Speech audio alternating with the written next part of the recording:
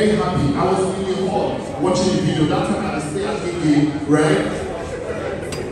And then when it was time for D'banj to perform, he performed to a point. Then he stopped and went to Don Jazzy and knelt and said, You are watching Gboah TV. Kindly subscribe, like, and follow. Thank you. Oshey, Oshey, Oshey, more than 20 times.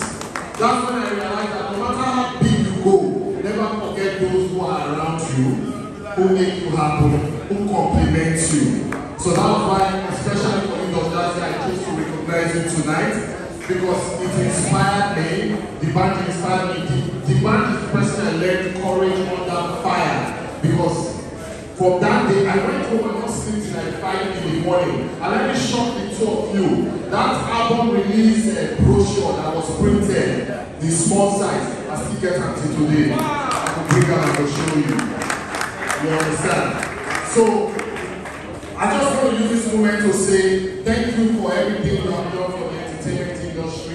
Thank you for the hope you have given to everybody who, who has and have, has had a dream and person was seeing you, they went on stage and they did it.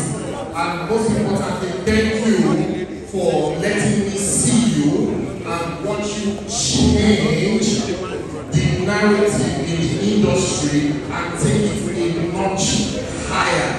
I learned imagery from you to be on stage and conjure a nation